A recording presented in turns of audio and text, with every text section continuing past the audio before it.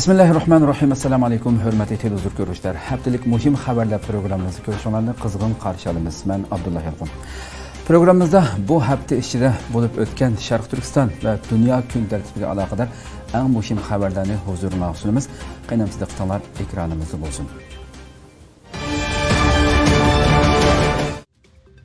Amerika xitoyni janubiy dengizning hukmronligi to'g'risida ogohlantirdi.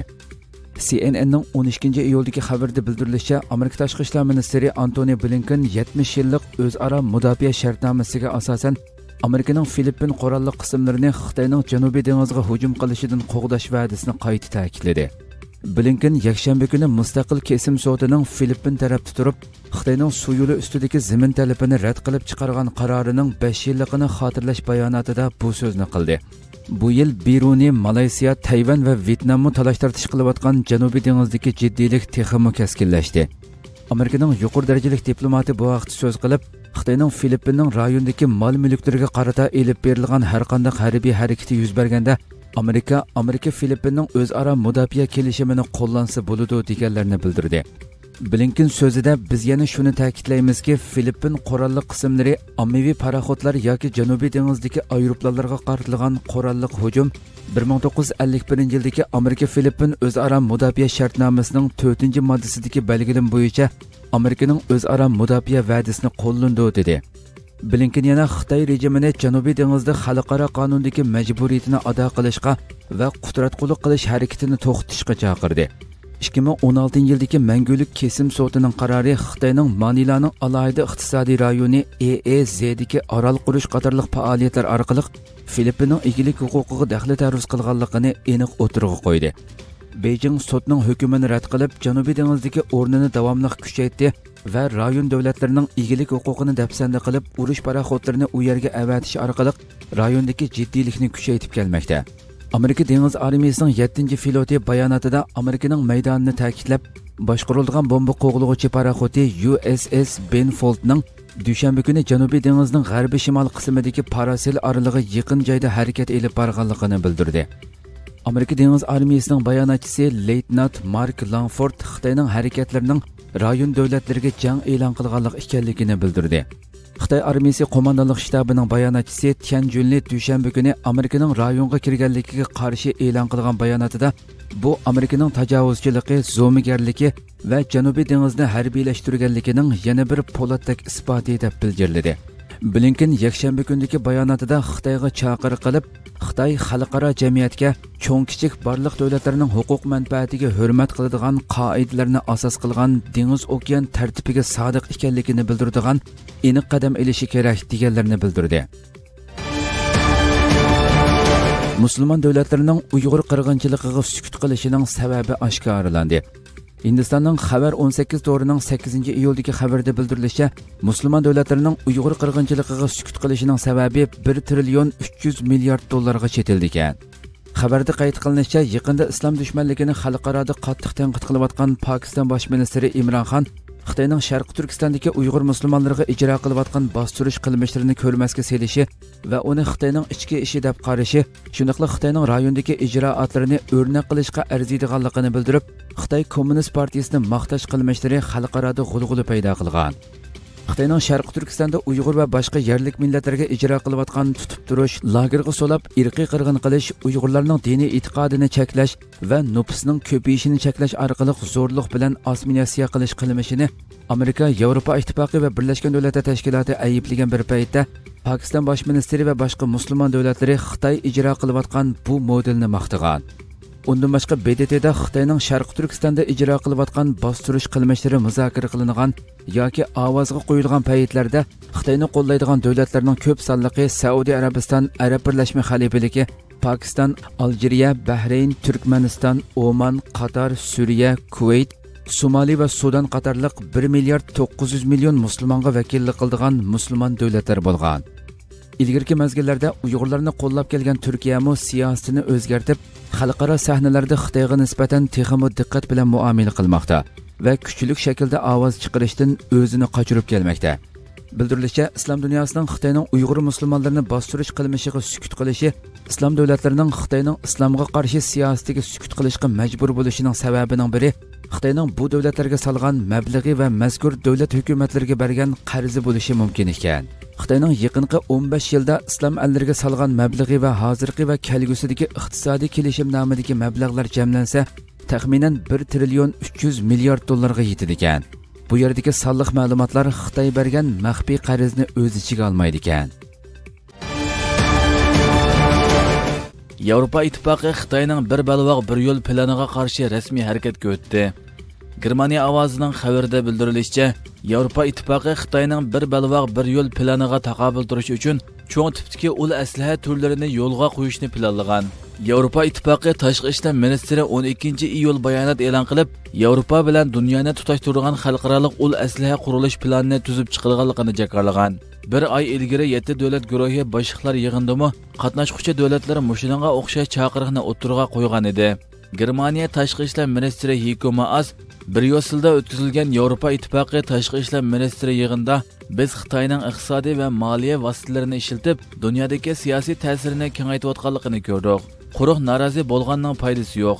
Biz cho'qim buning o'rniga boshqa tanlashlarni o'tirg'a qo'yishimiz kerak degan.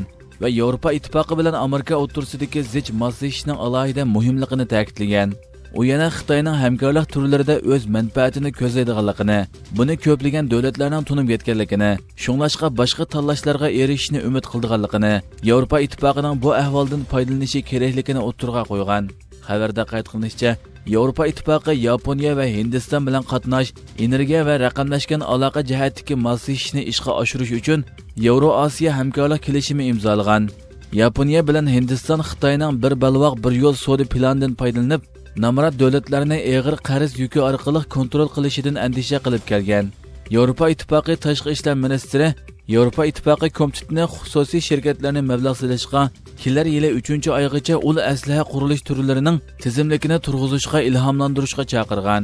Bildirilishicha yevropa ittifoqining bog'lanishchanligini bosh tema qilgan mazkur ul aslaha qurilishi navbatda rasmiy planlash bosqichiga o'tgan. Amerika shirkatlarni sharqi turkistondagi majburiy emgakka chetilib qilishdan ogohlantirdi. Fransiya xalqaro radiosining xabarida bildirilishicha amerika yangi ogohlantirish e'lon qilib shirkatlarni ta'minlash zanjirining sharqi turkistondagi majburiy emgakka chetilib qilishidan ogohlantirgan.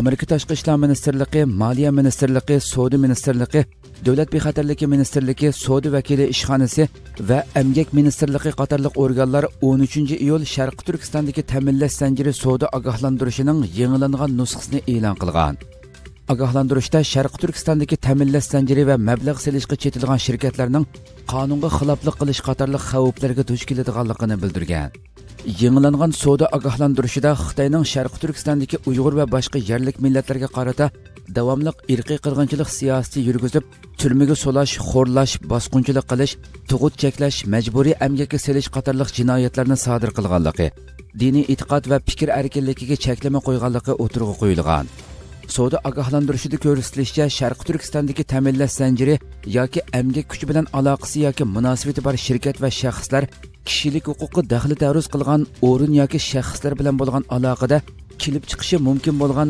iqtisodiy va qonuniy xatarni tushunishi kerak ekan. Ogohlantirishda dehqonchilik yanfun sanoati paxta mahsulotlari shakar sanoati to'qimachilik sanoati qurilish sanoati elektronlik mahsulot qo'rashtirish lunga yolg'on chach qatorliq majburiy amgak bilan ishlab chiqarildi deb qaralgan 20 kasb ko'rsatilgan. Shundoqla buning yana to'liqlashga ehtiyojli ekanligi eskartilgan amerika tashqi ishlar ministri antoni blinkenmi o'xshash kunda bayonot e'lon qilib amerika hukumatining tirishchanlik ko'rsatib shundoqli xususiy tarmoqlar va ittifoqdoshlari bilan quyuq hamkorlik o'rnatib xitoyning vahshiyligi va boshqa kishilik huquq dafsandichiligining mas'uliyatini davomli surishtiradiganligini ta'kidlagan. Angliya xitoy bilan rossiyaning josuslik tahdidiga terrorlikqa o'xshash muomala qilish kerakligini bildirdi. Amerika ovozining xabarida bildirilishicha angliyaning josuslikqa qarshi yuqori darajalik amaldori xitoy bilan rossiyaning josuslik tahdidiga xuddi terrorlikdan hushyor turgandek muomala qilish kerakligini ta'kidlagan. Xabarda qayd qilinishicha angliya harbiy istixborot 5 boshqarmasining boshlig'i ken mikalum 14 iyul bosh shtabida so'zlagan nutqida chet eldagi josuslik harakatlarining angliya xalqiga beoromlik qulaysizlik hatto hayotidan ayrilish qatorliq ig'ir ta'sirlarni elib kelganligini bildirgan. Ken mikalum so'zida biz chuqum chet elning tahdidiga qarshi turish tonishini turg'izishimiz va ularga uzun yil terrorlikqa qarshi turgandek inkos qaytirishimiz kerak degan.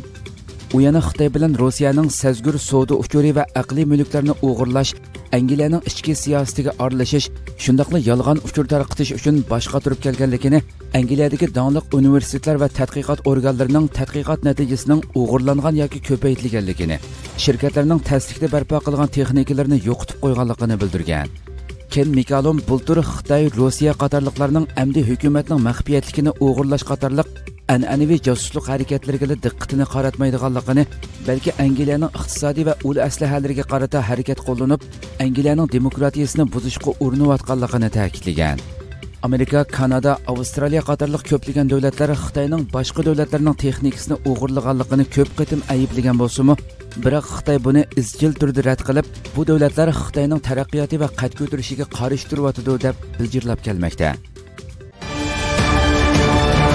Blinkin xitoyning janubiy dengizdagi qonunsiz egilik huquqi talabini qabul qilmaymiz dedi.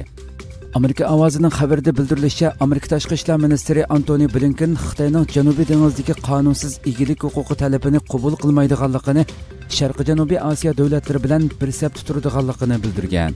Blinken 13 iyul amerika sharqi janubiy osiyo allari ittifoqi tashqi ishlar ministrlari yig'iniga qatnashib sharqi janubiy osiyo allari ittifoqining hindi tinch okean rayonining bexatarlik qurilmasidagi muhim rolini tilga olgan ikki taraf yana amerika bilan sharqi janubiy osiyo allari ittifoqining kishilik huquq va erkinlik iqtisodiy gullanish va kuchlik darajadagi xodimlar aloqasini asos qilgan strategik hamkorlikni davomli kengaytirishga va'da bergan. Bildirilishicha oldingi yakshanba xalqaro kesim sotining janubiy dengiz masalasi to'g'risidagi qarorining 5 yillik mazgilida bayden hukumati sobiq tramp hukumatining janubiy dengizning egilik huquqi da'vosi masalasidagi siyosatining davomlashadiganligini e'lon qilgan shundoqla xitoyning janubiy dengizdagi ko'p qism rayonlardagi egilik huquqi talab qilish qilmishining butunlay qonunsiz ekanligini davomli muayyanlashtiradiganligini bildirgan bir yil ilgari amerikaning sobiq tashqi ishlar ministri pompeo beyjingning janubiy dengizning ko'p qismini qoplagan dengiz okean boylik huquqini talab qilishining butunlay qonunsiz ekanligini xitoyning zo'ravonlik vositasi bilan sharqi janubiy osiyo davlatlarining egilik huquqiga ziyon yetkazganligini tunji qitim aniq o'ttirg'a qo'ygan edi u yana amerikaning sharqi janubiy osiyodagi ittifoqdoshlari va sheriklari bilan birlashib ularning xalqaro qonundagi huquqiy va majburiyati bo'yicha dengiz yoqisidagi boyliqlarning egilik huquqini qo'g'daydiganligini bildirgan edi. Xitoy bo'lsa oldingi juma xalqaroliq kesimni qabul qilmaydiganligi va ijro qilmaydiganligini qayta ta'kidlagan. Malayziya tashqi ishlar ministri hisamuddin chorshanba kuni amerika sharqi janubiy osiyo allari ittifoqi tashqi ishlar ministrlari yig'inida qilgan so'zida amerikaning rayon ishlariga qatnashishini qarshi oladiganligini va ko'p taraflik hamkorlikning rayon muqimligi gullanishi va bexatarligiga kapolatlik qilishning birdan bir yo'li ekanligini aytgan. Amerika kengash palatasi uyg'ur majburiy amgikining oldini olish qonunini rasmiy ma'qulladi. Amerika ovozining xabarida bildirilishicha amerika kengash palatasi 14 iyul birdak ovoz bilan uyg'ur majburiy amgikini cheklash qonunini rasmiy ma'qulladi. Xabarda qayd qilinishicha bu amerika hukumatining xitoyni jazolashdagi eng yangi tadbiri bo'lib agar amerika doiralari tarafidan majburiy amgak yo'q deb isbotlanmagan taqdirda bu qonun loyihasi orqali sharqi turkistonda ishlab chiqarilgan barliq mahsulotlar majburiy amgak mahsuloti doirasiga kirgizildi ekan. Va 1930 yildagi tamojna beji qonuniga asosan bu mahsulotlarni import qilish man'iy qilindi ekan. Bildirilishicha bu qonun loyihasi yana avom palatasida ma'qullanishi shundaqla ma'qullikdan o'tgan nusxasi o'xshash bo'lishi kerak bo'lib bu bosqichdan keyin andin prezident baydenning imzo qo'yishiga sunildi ekan. Ammo avom palatasining bu qonun loyihasini qachon ma'qullaydiganligi aniq emas ekan. Mazkur qonun loyihasini demokratlar partiyasining kengash palata a'zosi jeff merkli bilan jumhuriyatchilar partiyasining kengash palata a'zosi marko rubio birlikda o'tirg'a qo'ygan bo'lib ular avom palatasini tezdan harakatga o'tishga chaqirgan. Marko rubio bu haqda to'xtalib biz xitoy kompartiyasining insoniyatga qarshi jinoyatlarga ko'z yumolmaymiz shundoqla shirkatlarning bu qo'rqinchli xo'rlash qilmishidan foyda ilishiga yo'l qo'ymaymiz degan. Bultur 9 oyda avom palatasi 406 ovozning qo'llashi 3 ovozning rad qilishi bilan uyg'ur majburiy amgikining oldini olish qonunini ma'qullagan ammo ayni vaqtdagi kengash palatasida bu qonun loyihasiga qarata ilgirlash bo'lmagan bu yil 4 oyda yana avom palatasi tashqi ishlar komitetining a'zolari birdek ovoz bilan uyg'ur majburiy amgikining oldini olish qonunini ma'qullagan bayden hukumati yaqinqi mazgillarda majburiy amgakka qaratilgan jazoni kuchaytirishga boshlagan bo'lib bu seshanba yana amerika shirkatlarini ogohlantirib ularning shirkati sharqi turkistondagi kuzatish to'g'ri bilan vositlik bog'langan taqdirdami amerika qonuniga xilof bo'lishi mumkinligini ta'kidlagan doktor Ataullah shahyor xalqaro diniy erkinlik qurultiyida xitoyning jinoyatlarini tunishtirdi 13 iyuldan 15 iyulgacha amerikaning vashington shahrida xalqaro diniy erkinlik qurultiyining yillik yig'ini ochilgan bo'lib yig'inda sharq turkiston o'limalar birligi raisi doktor atavulla shahyar xitoyning sharq turkistonda ijro qilayotgan terror siyosatlarini tunishtirib o'tdi. Uch kun davomlashgan yig'inda sharq turkiston musulmonlari yaqinqi mazgillarda duch kelgan diniy cheklamalar xitoyning diniy bostirish siyosiy qatorliq muhim temalarda guvohlik berilgan va muzokara o'tkazilgan. Amerika xalqaro diniy erkinlik komitetining muavin raisi nuri turkal yig'inda so'z qilib xitoyning sharqi turkistonda uyg'ur qatorliq musulmon millatlarning diniy e'tiqod erkinligini bostirganligini xitoyning sharqi turkistonda irqiy qirg'inchilik jinoyati sodir qilish jarayonida sun'iy idrok texnikasini ko'plab qo'llanayotganligini amdilikda bir qism davlatlarning bu xil yirginishlik jinoiy qilmishlarni o'rnak qilish yo'liga qarab monganligini bu masalani hal qilishning muhimligini ta'kidlagan. Undan boshqa yig'inga xalqaro diniy erkinlik qurultiyining raisi amerika hukumatining sobiq xalqaro diniy erkinlik bosh elchisi sam Brownback, amerika Avam palatasining raisi nansi pelosi amerikaning sobiq tashqi ishlar ministri mayk pompeo qatorliq amerikaning dongliq siyosiy yo'llari ishtirok qilib xitoyning sharqi turkistonda diniy e'tiqod erkinligini qandoq oyoq osti qilayotganligini muzokara qilgan hamda aloqador mutaxassislar o'z qarashlarini sharhlab o'tgan.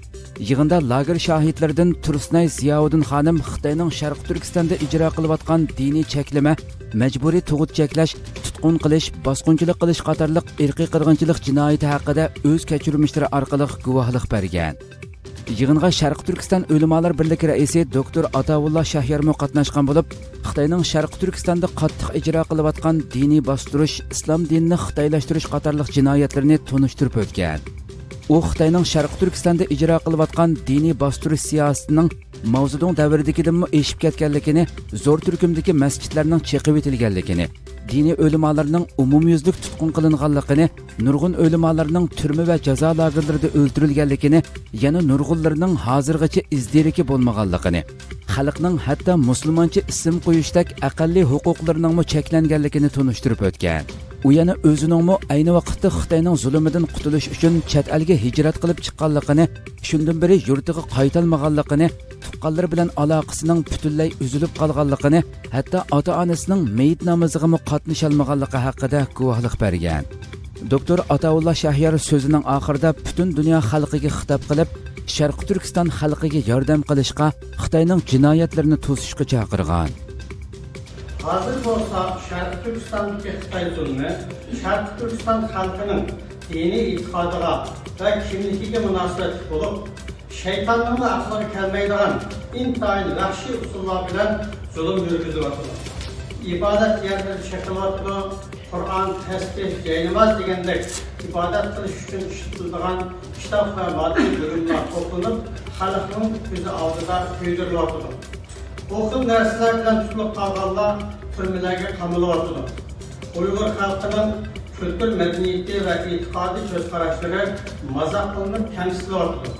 Dini olimlar turmalarda qamalibyotdi va ba'zilari o'ldirilyotdi. Hatto Uyg'urlarning Muhammad Abdullah degandek ismlarni qo'llanishimi cheklanyotdi.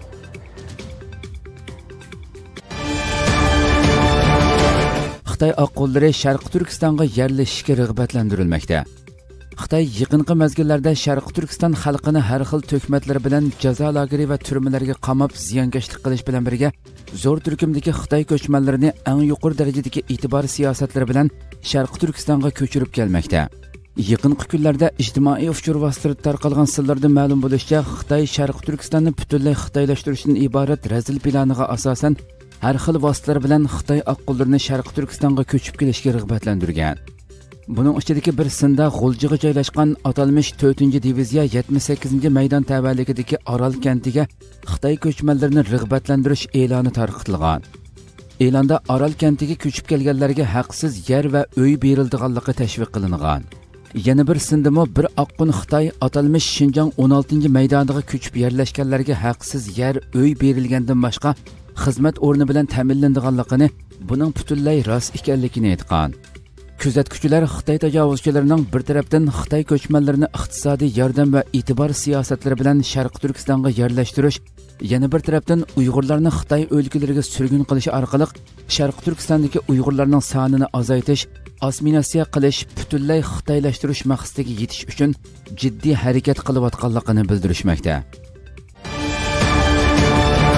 Bayden kommunizm mag'lub bo'lgan sistema dedi. Amerika prezidenti jo bayden oqsaroyda germaniya bosh angela merkel bilan ko'rishdi amerika prezidenti jo bayden oqsaroyda germaniya bosh angela merkel bilan ko'rishib shimoliy iqin ikki rossiya bilan bo'lgan munosabatlar afg'onistondan chekinish musofisi xitoy virusi yuqumi va yer sharining isib ketishi qatorliq masalalar to'g'risida ikki rahbarning uchrashishidan keyin o'tkazilgan muxbirlarni kutib olish yig'ini jarayonida bayden germaniyadagi suopiti munosabati bilan merkeldan hal so'radi. Prezident bayden shimoliy iqin ikki turubi yo'li qurilishi to'g'risida to'xtalib rossiyaning energiyani qoral sifatida ishlatishiga yo'l qo'yilmasligi kerak dedi. Bayden kubadagi o'zgarishlar haqida to'xtalib kommunizm mag'lub bo'lgan sistema. Man sotsializmnimi intayin foydali narsa deb qaramayman biz u yerdagi to'rg'a chiqishni asliga keltirishga yordam qilishni o'ylashyapmiz dedi. Ko'rishdi yana har ikki lider xitoyning demokratiyaga qarshi harakatlariga o'rtaq holda qarshi chiqadiganligini bildirishdi. U yana haytining harbiy yordam talabiga ishorat qilib kun tartibimizda bu davlatga askar avatish yo'q deganlarini qayd qildi. Germaniya bosh ministri angela merkel bayden prezidentlik vazifasini o'tkazib olgandan keyin baydenni ziyorat qilgan tunji yevropa rahbari bo'lib qoldi shundoqla u eng oxirgi qitim bosh ministr sifatida amerikaga borgan bo'ldi amerika Hong Kongning 7 amaldorini jazo tizimligiga kirgizdi amerika ovozining xabarida bildirilishicha amerika moliya ministrligi juma kuni Hong Kong bilan xitoy aloqalashish ishxonasining 7 muavin mudirini jazo tizimligiga kirgizgan amerika tashqi ishlar ministri antoni blinken bu haqda bayonot e'lon qilib xitoy amaldorlarining o'tgan bir yilda Hong Kongning demokratiya tuzilmasiga sistemalik buzg'unchilik qilganligini saylovni kechiktirganligini va saylangan a'zolarning salohiyatlarini bekor qilganligini xitoyning yana Hong Kongning yuksak avtonomiya tuzumini 50 yilgacha o'zgartmaydiganligi haqidagi va'dasiga xiloflik qilganligini bildirgan. U yana o'tgan bir yilda Hong Kongning savdo muhiti nacharlashdi ilgari xitoyda davomlashgan qonun pul muomala savdo qatorliq jihatlardagi xatarlik muhitlar Hong Kongda kun sari umumlashdi degan va Amerikaning Hong Kong xalqining yanada turadiganligini ta'kidlagan amerika moliya Ministerligi jazo tizimligiga kirgizgan amaldorlar chin dong xi jing Lu Shenning, Chiu Hong, Tan Tianyu, Yang Jianping va Yin Zhonghua qatorliqlar bo'lib, bu amaldorlarning Amerikadagi mol mulklari to'ngiltildi ekan. Shundaqla Amerikaliklarning mazkur amaldorlar bilan normal aloqa qilishi cheklandi ekan. Angliya Avam palatasi Beijing Olimpikini boykot qilish taklifini ma'qulladi. Amerika ovozining xabarida bildirilishicha, Angliya Avam palatasi 15 iyul bilet tashlab, kelar yili o'tkaziladigan Beijing qishliq olimpik tanarkat musobaqasini diplomatik boykot qilish taklifini ma'qullagan. Angliya Avam palatasi 2022 yillik qishliq olimpik tanarkat musobaqasi vahshiy jinoiy qilmishlar bilan ayblangan davlatda o'tkazilmasligi kerak deb qaragan bo'lib, agar Xitoy Sharq Turkistondagi bostirish qilmishini oyoqlashtirmasa va Angliya parlament a'zolari, fuqarolari va organlarga qaratilgan jazoni bekor qilmasa, Angliya hukumati va vakillarining Beijing qishliq olimpik tanarkat musobaqasiga qatnashishni rad qilishi kerakligini ta'kidlagan. Bildirilishicha, bu taklifni Angliya konservativlar partiyasining parlament a'zosi Tim Lufton o'tirg'a qo'ygan bo'lib, u Xitoy tarafidan jazolash tizimligiga kirgizilgan angliyalik siyosiyonlarning biri.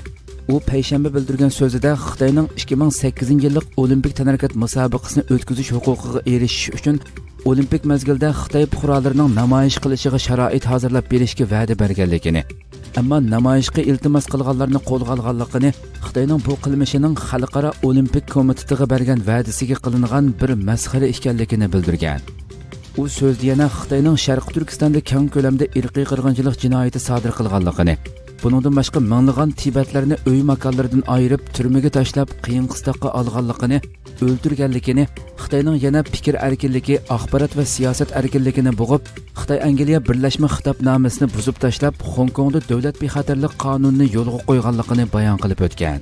Әмгәкчеләр партиясының парламент әгъзасы Afzal хан Хитаенның Шәрқи Түркістанда нәчче миллион халыкны жаза лагерыга солыганлыгын кайт кылып, Хитаенның bu qilmishini to'xtatadiganligiga oid hech qanday alomat yo'q.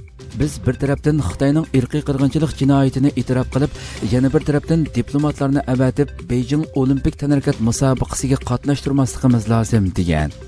Shundaqla Uyg'urlarga Angliya hukumatining ularning yanida ekanligi haqida uchirib berishi kerakligini ta'kidlagan. Avam palatasi bu yil 4-oyda birdek ovoz bilan Xitoyning Sharq Turkistondagi Uyg'ur va boshqa yerlik millatlarni bostirish qilmishini irqiy qirg'inchilik deb bekitib, Xitoyning bu jinoyatini qattiq ayblagan edi.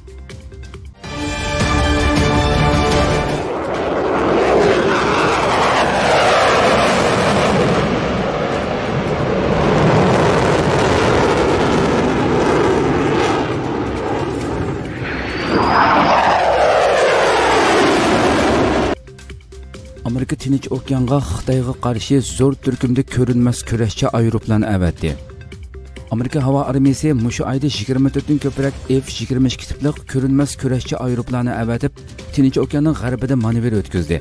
Bu qadam amerika xitoyni qo'rqitmoqchi bo'lyotidi deb izohlandi.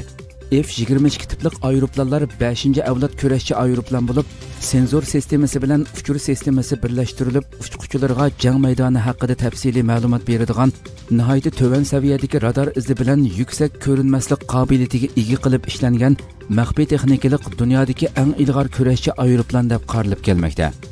Amerika uni xalqarodagi eng muhim hujumlarda ishlatib kelayotgan bo'lib, Amerikaning havo ustunligini saqlab kelishda eng muhim o'rinni egallamoqda. Tahlilchilar bu haqda bu kuchlik aeroplanlarning odatdan tashqari keng o'rinlashtirilishi xitoydan yuz berish ehtimolligi bo'lgan dushmanlik harakatiga qarshi kuchlik uchur yetkazadi deyishmoqda havaydagi tinch okean havo armiyasi bu hafta havay havo armiya davlat mudofiasi va alyaskadagi birlashma elmondorov richardson bazasidan taxminan 25 dona f 22 tipli kurashchi aeroplanning tinch okean tumir harakati 2021 manevri uchun bu oyda guam va tinyan oralig'i o'rinlashtirilganligini aytdi. Undan boshqa tinch okean havo armiyasining qo'mondoni general ken velsbach cnnga qilgan so'zida o'zlarining tinch okean havo armiyasining harakat rayoniga azaldan bundoq ko'p kurashchi aeroplanni o'rinlashtirmaganligini aytdi havoydagi mudofaa analizchisi amerika tinch okean qo'mondonlik shtabi birlashma axborot markazining sobiq tijorat direktori karl shuster bu haqda so'z qilib manevrga ko'p miqdorda F-22 tiplik aeroplanni o'rinlashtirish Xitoyga nisbatan jiddiy uchur ekanligini aytdi. Xitoy taraf bo'lsa Amerikani dunyo tartibini buzdi deb. Shuster bo'lsa Tinch okean havo armiyasining qisqa vaqt ichida Xitoyning navbatda havo armiyasida mavjud bo'lgan butkul aeroplanlarning sonidan necha hassa ko'p 5-avlod aeroplanlarni o'rinlashtira oladiganligini ta'kidladi. Shuster yana so'zlarga ilova qilib, Xitoy havo armiyasining navbatda taxminan 20 dan 24 gacha 5-avlod kurashchi aeroplani bor. Ammo Beijingning bu sohadagi iqtidorini tez taraqqiy qildirayotganligiga sal qarashga bo'lmaydi deganlarni bildirdi. Havo armiyasining statistikasiga qaraganda, Amerika havo armiyasining flotida taxminan 180 dona F-22 tipli aeroplan bor. garchi asrash ehtiyoji sababidan har vaqt faqat yerimi mashg'ulot qiladi bu sababdan amerika f 22 aeroplanlarining taxminan 25 ni tinch okean manevriga avatishni planlagan